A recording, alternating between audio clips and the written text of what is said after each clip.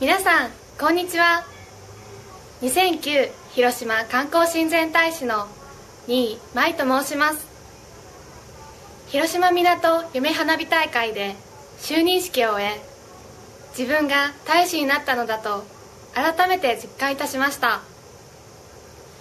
これから1年間楽しいこと辛いことたくさんあると思いますが中本さんと山口さんと一緒に協力し一つ一つの出会いや経験を大切にしていきたいと思っております。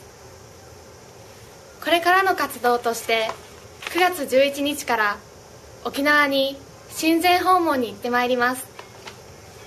持ち前の明るさで1年間頑張りますのでよろしくお願いいたします。